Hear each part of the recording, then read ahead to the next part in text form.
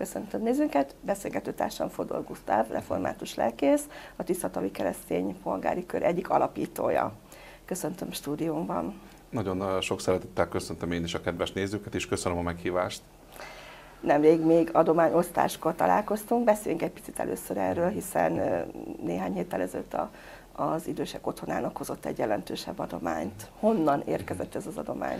Tudni kell azt, hogy a Tisztatavi Keresztény Polgári Körnek nagyon sok holland támogatója van, de annak örülök, hogy nem csak Hollandiából érkeznek támogatások, hanem egyre jobban a magyarországi támogatók is aktivizálódnak.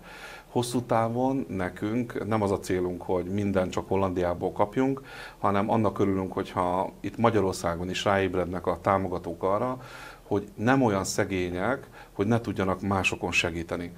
Visszatérve az eredeti kérdésre, ez a támogatás Hollandiából érkezett, és eh, van rajtunk egy ilyen nagyon kellemes nyomás Hollandiából.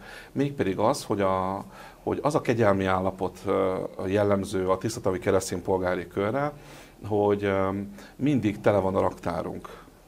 És ezért és gondolkodtam azon, hogy vajon miért van tele a raktárunk, valószínűleg azért, mert tele van a szívünk is, és ha tele van a szívünk, akkor tele van a raktárunk is, és ha tele van a raktárunk, akkor tele vannak a kezeink is, és tele kézzel érkeztünk karcagra az idősek otthonán, az egyik idősek otthonát lát, látogattuk meg, és hoztunk egy két-három millió forint értékű adományt, és nagyon-nagyon örültünk neki, mivel a polgári körnek van egy olyan komoly etikai szabálya, hogy mi tiszteljük az életet a Földön jelenlévő mindenféle életet, elsősorban az emberekét, és én úgy gondolom, hogy az idősek nagyon megérdemlik azt a fajta szeretetet, gondoskodást, hogy mindenből a legjobbat kapják azok, akik végig dolgozták az egész életüket, és az életüknek az utolsó szakaszát méltók arra, hogy a legjobbat kapják, és a polgári kör, én úgy gondolom, hogy a legjobbat hoztok nekik.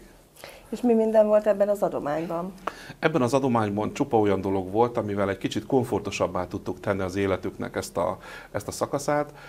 Ha jól emlékszem, akkor egy ilyen 45 matracot hoztunk, amelyek ergonomikus matracok, Hollandiából érkeztek, és nagyon-nagyon értékesek, tehát hogy olyan technológiával vannak elkészítve, hogy kényelmesek, és én tudom azt, hogy az, aki sokat tölt, sok időt tölt az ágyban, annak nem mindegy egyébként, hogy az alvása is milyen minőségű.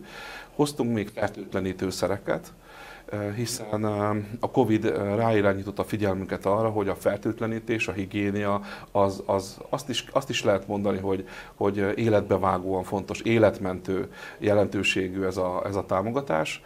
Hoztunk még speciális kerekesszéket, hoztunk még egy-két kórházi ágyat, és nem is emlékszem pontosan mit még, de néhány olyan doboz higiéni eszközt, ami, ami tehát többféle higiéni eszközt hoztunk, és a fertőtlenítésnek a széles palettáját ebből az idősek otthon el tudta látni.